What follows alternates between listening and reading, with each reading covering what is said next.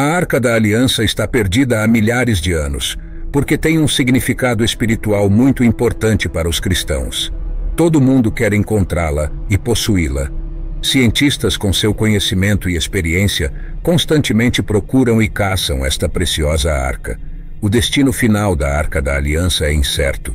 Os cientistas acreditam que não existem registros confiáveis de seu paradeiro. Apesar disso, existem muitas teorias e afirmações sobre a localização subsequente da arca, e uma vez que a arca seja oficialmente encontrada pelos cientistas, ela revelará coisas que irão te chocar. Deus colocou uma maldição sobre a arca, limitando quem poderia abri-la, mas será que existem exceções? Será que os cientistas podem colocar as mãos nela? Convido você a assistir até o final deste vídeo para descobrir o mistério por trás da aliança entre Deus e seu povo.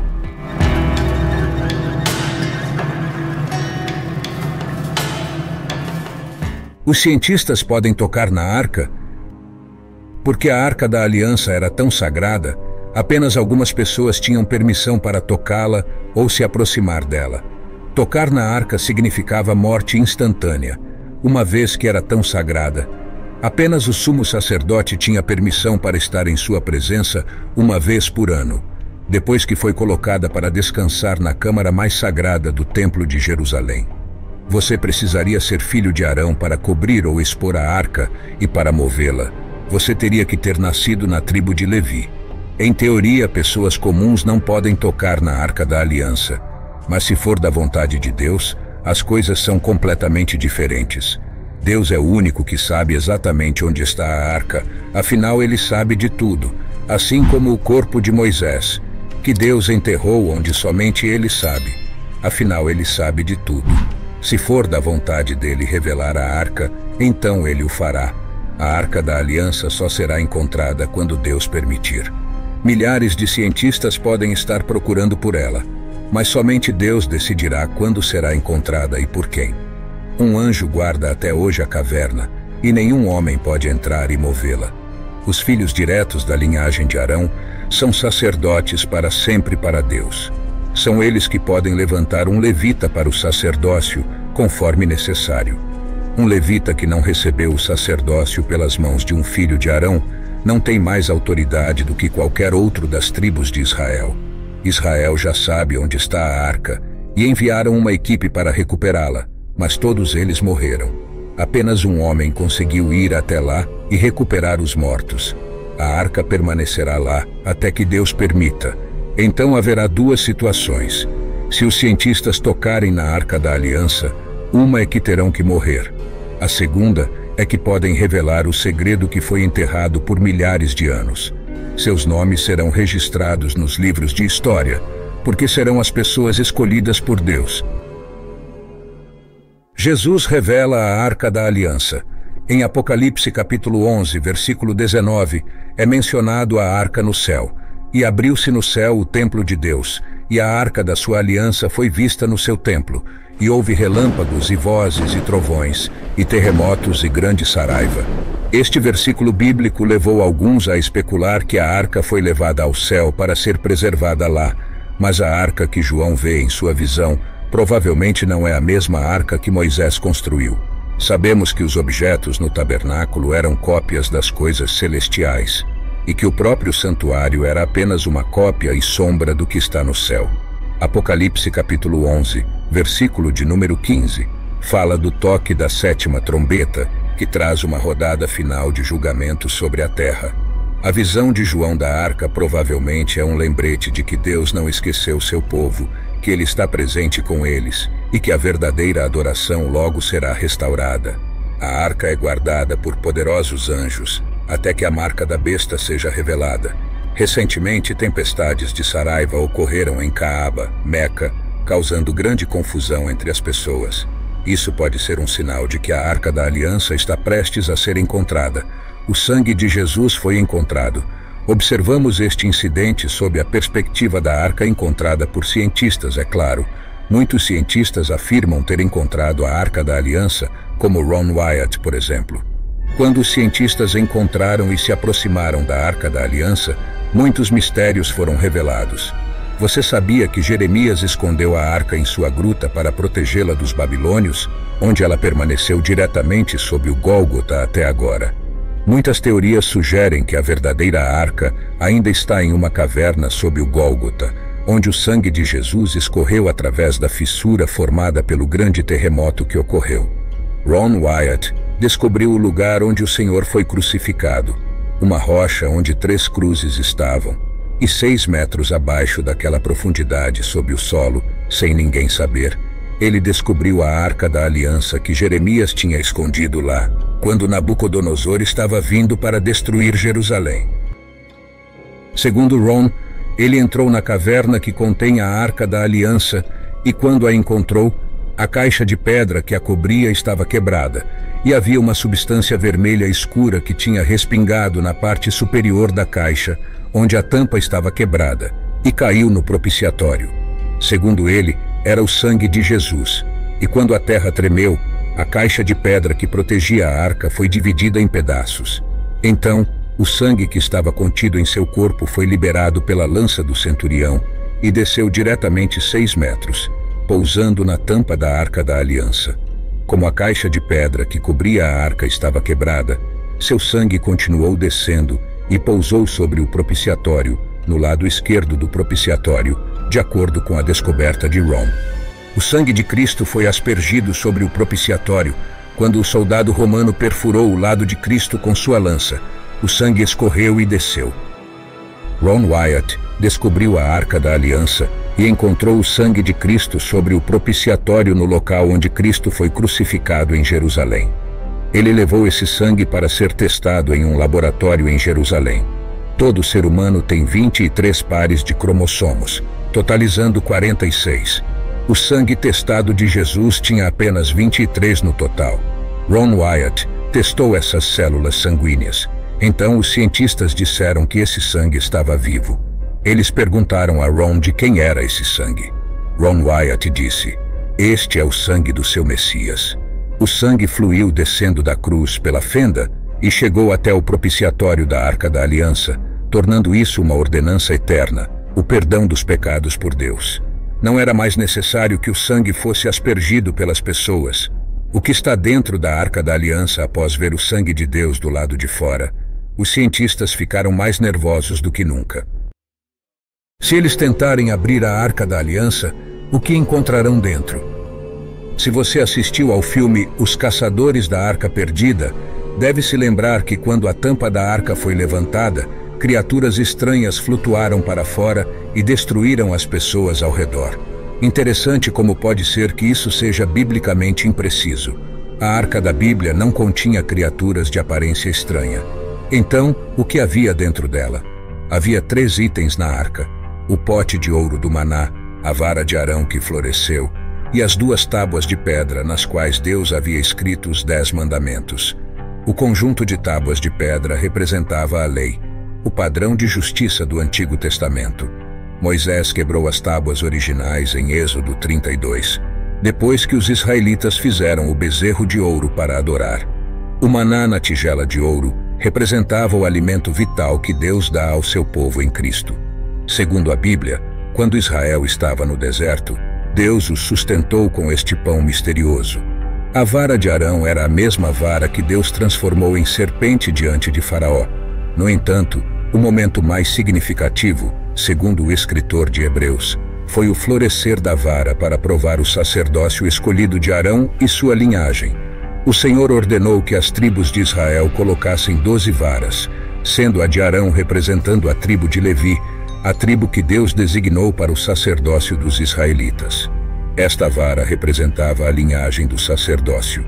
Esses itens são, na verdade, símbolos da rebelião do homem. O pote de ouro do maná representa a rejeição do homem à provisão de Deus. A vara de Arão representa a rejeição do homem à liderança de Deus. E as duas tábuas de pedra dos mandamentos de Deus representam a rejeição do homem ao seu padrão de santidade mas porque Deus tem prazer na misericórdia, ele guardou esses itens na arca e os cobriu com o propiciatório, que tinha dois querubins sobre ele. E uma vez por ano, o sumo sacerdote entrava no Santo dos Santos, onde estava a arca, e aspergia o sangue do sacrifício animal sobre o propiciatório. Isso significa que os olhos de Deus, representados pelos olhos dos querubins, não viam os símbolos da rebelião do homem, enquanto o sangue estava ali sobre o propiciatório. Ele via apenas o sangue e aceitava o povo. Hoje, Jesus é nosso sumo sacerdote e ele mesmo aspergiu seu próprio sangue no propiciatório. Será que Ron Wyatt realmente encontrou a arca? Nós sabemos que nem todo mundo pode colocar as mãos na arca da aliança.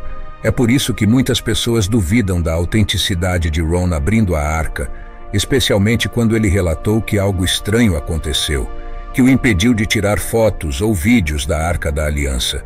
Ele disse que quando voltou ao local para coletar mais evidências, quatro anjos se apresentaram diante dele e disseram que ainda não era hora de o mundo ver essa descoberta com seus próprios olhos, que o tempo estava se aproximando, mas ainda não havia chegado naquela época. Haverá uma lei religiosa universal aplicada em todo o mundo. As pessoas duvidam cada vez mais da autenticidade de Ron em ter encontrado a Arca da Aliança.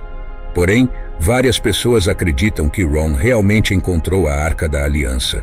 Mas ele não foi autorizado que ele a revelasse publicamente, e ele foi escolhido por Deus. Não havia motivo para Ron mentir sobre isso. Ele não fez isso por motivos comerciais, nunca recebeu nenhum dinheiro e não se importava com isso. Sua verdadeira motivação era mostrar ao mundo que Deus existe e que a Bíblia não são apenas histórias, são fatos que você pode encontrar e assistir nos documentários sobre as descobertas de Ron Wyatt. Isso pode muito bem mudar a vida do espectador. Suas alegações incluem a Arca da Aliança, a Arca de Noé, a travessia do Mar Vermelho, as rodas de carroça dos egípcios perseguidores do povo de Israel no fundo do mar, o sangue de Jesus e muitas outras descobertas notáveis que, se verdadeiras, teriam um efeito profundo na erudição bíblica. Alguns negaram as descobertas de Rom, dizendo que a arca desapareceu dos textos bíblicos por volta do século 7 a.C., quando o Oriente foi conquistado pela Babilônia. Parece provável que tenha sido levada como despojo de guerra pelos babilônios e desmembrada por suas partes valiosas, e que a arca não existe mais há cerca de 2.500 anos. Há uma tradição rabínica que diz que a arca, junto com outros itens notáveis como a vara de Arão, foram escondidos dos babilônios e sobreviveram. Isso gerou especulações sobre seu paradeiro desde então, com sugestões de um lugar de descanso por toda a Europa e África. A Igreja Ortodoxa Etíope afirma ter a arca em sua posse, e até hoje você pode ver o edifício onde eles dizem que está armazenada. Há uma capela construída especificamente para ela nos terrenos da igreja de Santa Maria de Sião, em Axum, na Etiópia. Porém, isso é o máximo que você encontrará. Apenas uma pessoa, um monge encarregado do cuidado da arca, tem permissão para entrar no prédio. E é claro, isso significa que ninguém pode autenticar o que quer que a igreja etíope afirme ser a arca. Então é inteiramente possível que seja uma farsa. O cenário mais provável é que ela tenha sido trazida como saque quando os babilônios saquearam Jerusalém e depois tenha sido destruída pela guerra ou algum desastre. O segundo cenário mais provável é que tenha sido de alguma forma destruída durante o saque de Jerusalém pelos babilônios. Há uma pequena esperança de que não tenha sido destruída de acordo com os dois cenários mencionados anteriormente. Os babilônios provavelmente a teriam mencionado como saque se a tivessem levado, já que era onde o Deus dos judeus poderia, de certa forma, ser dito que residia. Não teria sido extremamente valiosa em si mesma para eles, mas o valor psicológico de ter capturado um Deus verdadeiro teria sido enorme. Parece não haver tradições em torno dela. Nunca foi mencionada após a queda de Jerusalém pela Babilônia. Se os judeus soubessem que ela foi destruída ou capturada, provavelmente isso teria sido mencionado em algum lugar, Há inúmeros hinos sobre o cativeiro e os infortúnios que sofreram. Se não foi destruída ou capturada, provavelmente foi contrabandeada durante o cerco e escondida. Geralmente os cercos não são tão rigorosos quanto se imagina. Geralmente há todo tipo de pessoas tentando vender coisas aos soldados entediados, e isso geralmente é possível, que uma ou duas pessoas entrem e saiam sem serem notadas. Não é um grande esforço imaginar que tenha sido contrabandeada por algum túnel, carregada em um carro de boi e escondida em algum lugar próximo. Provavelmente estaria à distância de uma jornada de um dia do templo. Eles não gostariam de correr o risco de ela ser descoberta no caminho. É até provável que tenha sido contrabandeada logo após o anoitecer e escondida pouco antes do amanhecer, se foi removida do templo. Também não é um esforço imaginar que o punhado de pessoas que a esconderam tenham sido posteriormente mortas, de modo que o conhecimento de seu paradeiro fosse perdido no tempo. Mas tudo isso é conjectural. Simplesmente não há evidências de que a arca tenha sido levada para algum lugar. Nem há evidências de que não tenha sido destruída. Nem há evidências de que tenha sido. Mas há uma descoberta enigmática entre os manuscritos do Mar Morto, o chamado Manuscrito de Cobre, que lista tesouros que foram escondidos em algum momento da história, está escrito de forma muito enigmático, provavelmente para que não fosse possível recuperar estes tesouros perdidos há séculos, para qualquer pessoa que encontrasse este pergaminho por acaso. É possível que uma das localizações mencionadas se refira ao esconderijo da arca, embora seja improvável.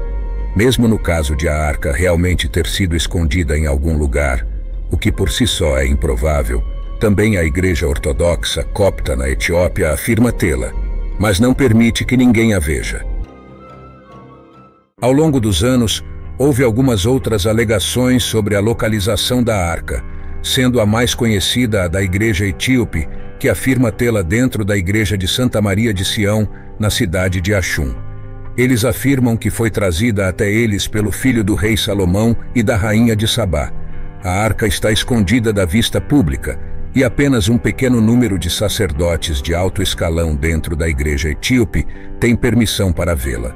No entanto, não podemos negar os esforços e a perseverança de Ron Wyatt em sua jornada para encontrar a Arca da Aliança. Você pode escolher acreditar ou não.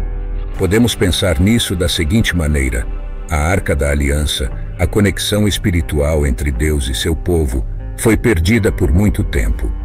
Claro, Deus não queria que todos pudessem vê-la e tocá-la porque isso causaria caos. Provavelmente, Deus escolheu pessoas para representar seu povo ao ver a arca da aliança e depois contar aos seus filhos o que viram.